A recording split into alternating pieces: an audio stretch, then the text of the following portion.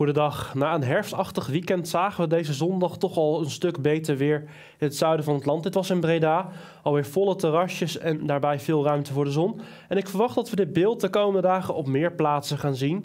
Want we gaan te maken krijgen met een hoge drukgebied. Maar eerst moeten we nog een passage van een lage drukgebied afwachten.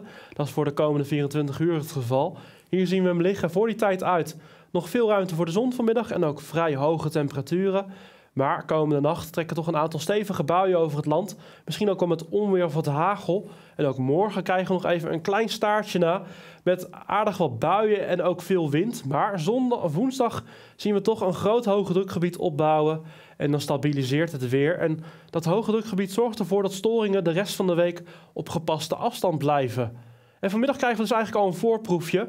Met zeker in het midden en noorden van het land veel ruimte voor de zon. En snel oplopende temperaturen naar soms zomerse waarden. In het zuiden van het land wordt de bewolking geleidelijk aan alweer wat dikker. En tegen de avond kan daar een eerste bui vallen. Daarbij staat niet al te veel wind en is het echt wel aangenaam zomerweer. En vanavond trekken dus die buien het land binnen. Kan soms wat onweer op zitten, maar voor die buien uit blijft het nog lang aangenaam warm. Uiteindelijk liggen die buien halverwege of aan het eind van de nacht zo over het midden van het land. En komende nacht trekken die buien dan door naar het noorden. Kan dus soms wat onweer op zitten. Ook wat hagel sluit ik niet helemaal uit.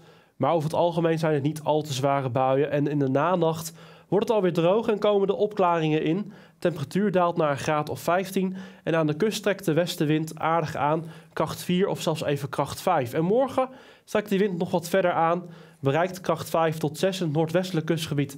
Zijn ook windstoten van ruim 70 km per uur mogelijk.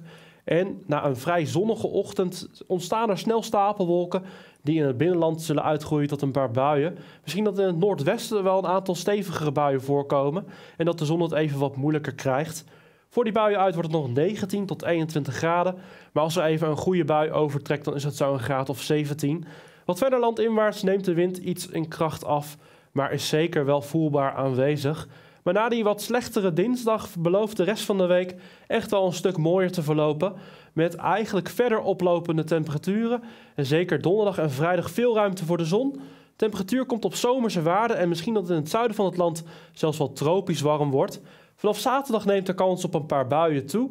Misschien dat het zaterdag ook nog gewoon land zonnig is en warm. Maar vanaf zondag wordt het ietsjes wisselvalliger.